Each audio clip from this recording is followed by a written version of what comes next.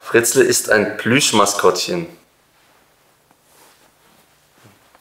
Gar nicht, Fritzle ist echt.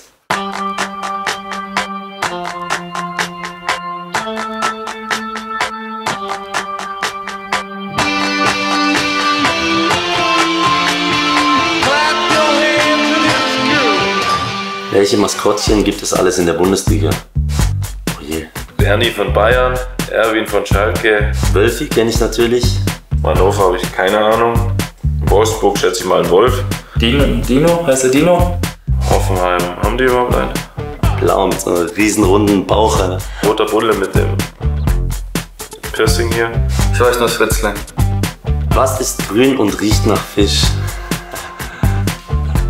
Nee. Da ist er doch. Wie das denn? Hey, Fritzle! Du mitlesen oder? Komm, mal weiter.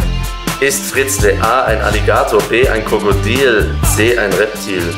Nee, ist doch klar. Sag mal. Ich bin froh, dass er ein Alligator, Reptil oder was auch immer ist und Fritzle ist ein cooler Typ. Fritzle ist echt und gefährlich, vor allem am Wochenende. Fritzle ist geil. Das Äffle und Pferdle passen viel besser zum VfB als ein fettes Krokodil. Das ist eine Frechheit. Nein, nein. Fühlt sich aber gut an. Geil. So, wir sind ja vor der Kamera. Und beim VfB kann es nur das Fritzle geben. Äh, das ist geil, kommt da hier einfach rein, Fritzle. Oh.